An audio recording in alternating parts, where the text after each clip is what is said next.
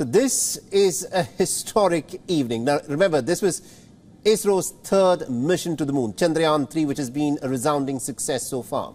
Celebrations broke out across the nation after the Vikram lander succeeded in making a soft landing on the surface of the moon. Moments after India made its history, the director of the Vikram Sarabhai Space Centre, Unnikrishnan Nair, spoke to WION. Listen in to what he had to say. Joining us now, a triumphant man, Dr. Unnikrishnan Nair, the director of India's Vikram Sarabhai Space Center. They're responsible for designing and building all the rockets, all the space transportation systems. Sir, how do you feel? Just like you said one week ago, you've done it. Feather like soft landing? Yes, that is what we said at the time of launching LVM-3. LVM-3 has injected the satellite into the exact orbit with the parameters. So the beginning was good. So at that time I said if the beginning is good, the ending has to be good. Today we are seeing the ending. And uh, after that, uh, that is launch vehicle part, and also for the Chandrayaan, uh, two pairs Vikram Sarabhai Space Center. There are many systems like explosive systems, composite system.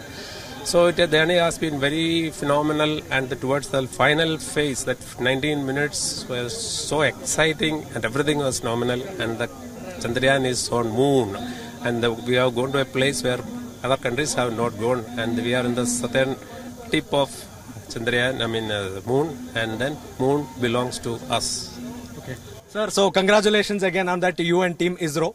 So, you know, you're not the type to rest on laurels. You have much, much more ahead. The busiest two years of your lives ahead.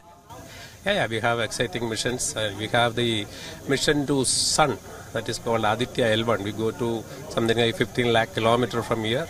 So that is mission is going to be there in September. We have the Gaganyaan, modern mission is the in-flight demonstration of crew escape system is scheduled maybe end of September or October beginning.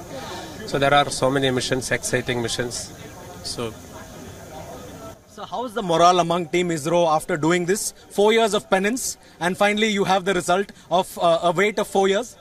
Yeah, no, there are uh, failures, but we learn more from failures.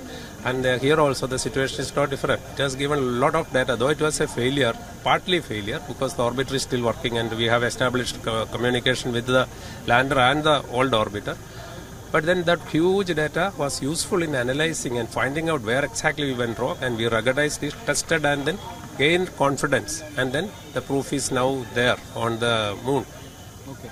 Sir, as we speak, the moon has also risen over Bangalore. India stations will be tracking, uh, you know, Chandrayaan 3. India's antennae will be tracking Chandrayaan 3 from the Deep Space Network in Byalalu. So tell us, uh, what can we expect over the next 14 days? No, mostly, you know, they uh, will have the rover out.